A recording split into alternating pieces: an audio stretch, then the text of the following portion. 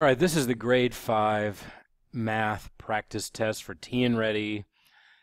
Question number 5, this is no calculator. What is the value of the digit 7 when 2.7 is multiplied by 10 to the second power, or 10 squared, whatever you want to say there. So the first thing I'm going to talk about is the 10 squared business. Really, this, by the way, looks like this. So it's essentially just scientific notation.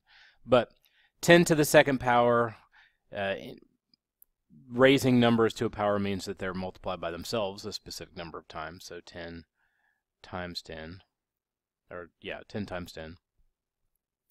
I'll put the x there. 100.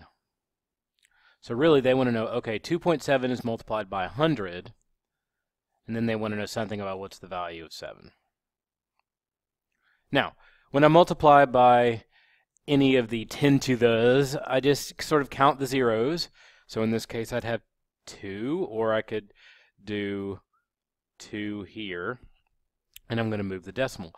When I'm multiplying by a positive exponent on that 10, it means I'm going to have a larger number. So if you end up with the 7 is somehow of lower value a place value than it was when you started, something's gone wrong because it's 10 to the positive 2. If it's 10 to the negative 2, we're going to go in the different direction. But if I start with 2.7,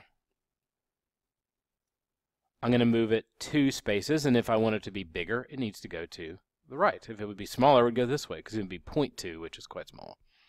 So I'm going to go 1, 2,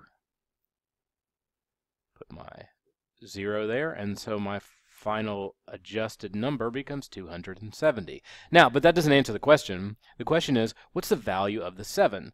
Well, fortunately for us, the 7 doesn't have any um, non-zero integer values here, so I can just kind of knock that off and look at it and say that without the 200 part, it just becomes 70. So the answer to question 5 is 70. Again, if you're working with multiplying by powers of, a, of 10. If it is a positive number, make sure you get a larger answer. If it is a negative number, for instance, make sure you get a smaller answer if that's something that you might see. I don't know if you'll see that or not.